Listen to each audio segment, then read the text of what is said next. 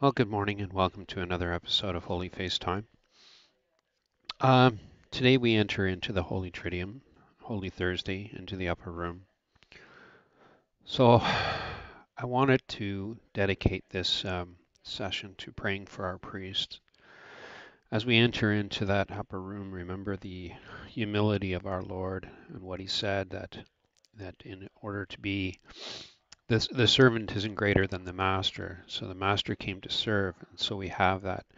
We learn that attitude of servitude from from our Lord, and that He, you know, um, brought himself to the lowered himself to lowered himself to washing the apostles' feet, you know, to show them, uh, you know, the, the level of servitude that we are supposed to aspire to and uh, it's it's a difficult one for priests, especially in the world today.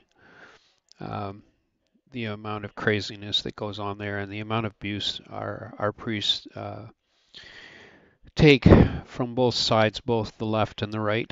They get hit from from both sides, and um, so we need to really pray for our priests for the holiness and for common sense to reign in uh, in the midst of our affliction, in the midst of the affliction of what the church is going through.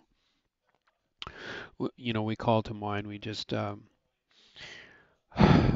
look at the the the uh, the craziness, our, our, of what's going on, and what what has has developed over the years. We've been lulled into a sense of um, of uh, mm, we've lost the spirit of reverence. We've lost the spirit of living in the supernatural. We need to regain that. And how do we regain that? Well, we as the laity, we have to uh, demand better, right, from the church, but in a nice way. We have to, you know, not not go out of our way marching orders and just we demand this. No, we have to bring it about in a, in a positive way. We need to. This is why, first and foremost, we need to pray for our priests and uh, to offer them up and into that continuous sacrifice of the Mass, we have to offer up our priest in that too, and we have to offer up all our sufferings and all our intentions for the holiness of our priesthood. Um, so, so this is uh, this is where the church is at a sense where it's you know it's lost common sense, it's lost all its dignity and reverence. Um, you know, um, the Holy Church was meant to live in the fullness of all the senses our eyes our ears our nose our hearing you know that so we need to bring that back. We need to bring back you know the incense the bells. We need to bring back uh, the uh, you know the, this the, the holiness. The church is meant to bring people into a place where they can find the divine right? Where they can enter into a church and go wow, I really sense the Lord's presence in here. So a church should look like a church, right? It shouldn't look like a, a hall or gymnasium or whatever. I know that uh, sometimes we uh, we can't avoid those situations, especially today, where we have to make do with what we've got. But we can still bring that sense of reverence with us, and and um, by being in the Lord's presence in the church, we should you know, bow our heads in silence. We should try to remain uh, always reverent before the Lord and to avoid speaking with others, you know, really loudly after Mass or before Mass. We should always try and enter away from the church, get you know, you know, get out of the church when you're talking.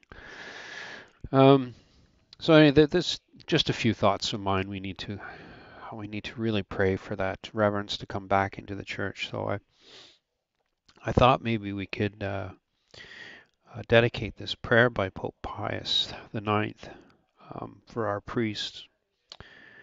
Um, o my Jesus, cast upon us a look of mercy and turn thy face towards each one of us, even as thou didst turn to Veronica, not that we may see it with the eyes of our body, but for we do not deserve to do so, but turn towards our hearts, that being sustained by Thee, we may ever draw from that powerful source the vigor necessary to enable us to wage the combats we have to undergo.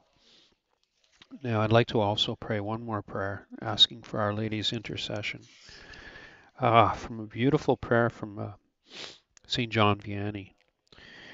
O my beautiful, immaculate Mother Mary, Queen of sorrows, I beg of thee by the inexpressible agony thou didst endure at the foot of the cross, offer to the Eternal Father in my stead the holy face of thy divine Son, my Jesus, covered with blood, wounds, and other indignities heaped upon him during his sacred passion, and beg him to grant well, we pray for the holiness of our priest and a returning to the sanctification and reverence and in our priest uh, and in and in the church. We pray for this in the most holy name of Jesus and through the divine intercession of Our Lady, Queen of Sorrows. Amen. Father, Son, Holy Spirit, Amen. Praise to you, Lord Jesus Christ, and blessed be your most holy face. Well, I hope you all have a, a beautiful Holy Triduum, and uh, I pray that you will you will discover the face of our Lord. And, and if you're discovering it for the first time, I'm praying, I'm praying that the Lord's light will shine through to you, His countenance will shine upon you.